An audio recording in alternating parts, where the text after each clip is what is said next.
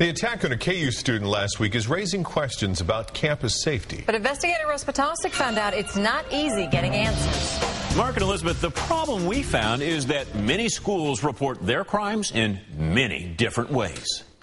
The University of Kansas is one of many schools that keeps two sets of crime stats. It is confusing. I mean, I don't under, like I said, I don't understand why, um, how they get the different numbers on KU's webpage, when you click on full listing of all offenses, it shows only 14 forcible sexual assaults over a three year period.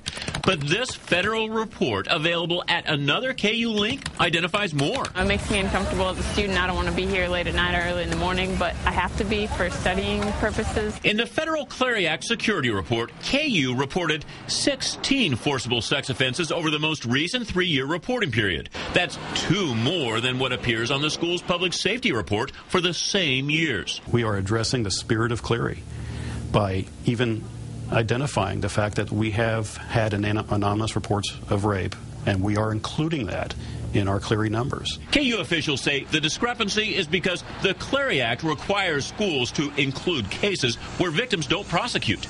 KU's police report doesn't count those. We have had a couple of situations where uh, the victim wanted to tell us about the incident, but did not want to report it as a crime. Pittsburg State's website also reported fewer than the federal report. In contrast, Missouri State's website reported more sexual assaults than the Clery report. Campus reports we reviewed at Mizzou, UMKC, Missouri Western, Kansas State, and Northwest Missouri State matched the federal report. I do think it is confusing and I think it is concerning. A 2009 investigation by the Center for Public Integrity found discrepancies nationwide and faulted universities for statistics that don't add up.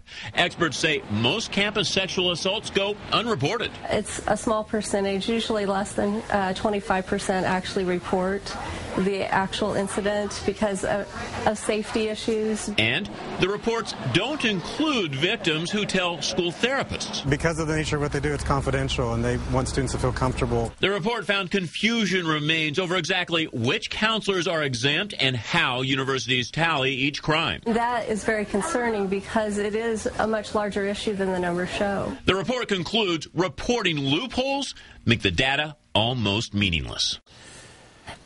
Campuses nationwide will update their reports in about one month. And if you go to NBCActionNews.com under Spotlight, you can find a link that we have so you can compare campus crimes on your campus. All right, very important. Thank you. Thanks.